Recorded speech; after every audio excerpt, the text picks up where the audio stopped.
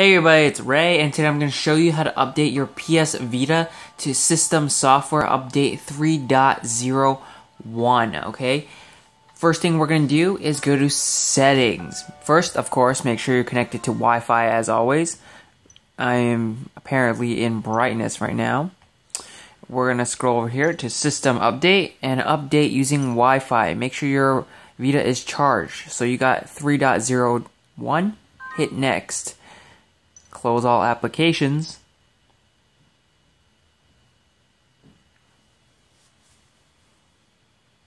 And you've got this agreement.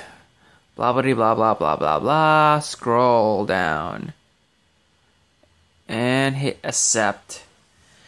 And do you want to update? Update. So it's downloading the update. So what is in System Software Update 3.01? Actually, there's really not much. It just says, uh, according to Sony's notes, system software stability during use of some features has been improved. Now, if you didn't grab system firmware 3.0, um, that update included the addition of the PS4 Link application to your uh, Start home screen. Uh, with it, you can remotely control your PS4 and when you're playing a game on the PS4, you can also display information from that game on your system using the second screen feature. Um, 3.0 also had parental controls, photos, panoramic camera has been added uh, to the live area screen.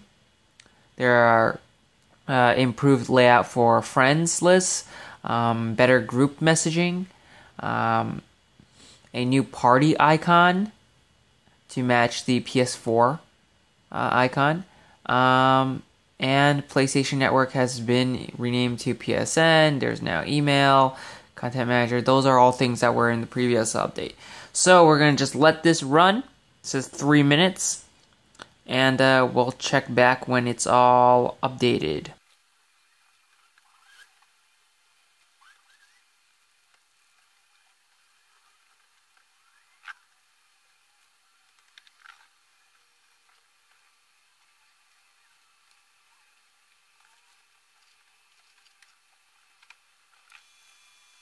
Okay, so the PS Vita is now updated. And just to show you, gonna get past this gravity rushed. We're gonna go to settings. Well, the first indication is party icon has changed, so that should be a dead giveaway. And if we go into the settings and we click start, and we go down here, and we go to system, and we go to system information, you can see that I am indeed on System Software 3.0. Alright, and we're to click here and we're to just click home, go back home.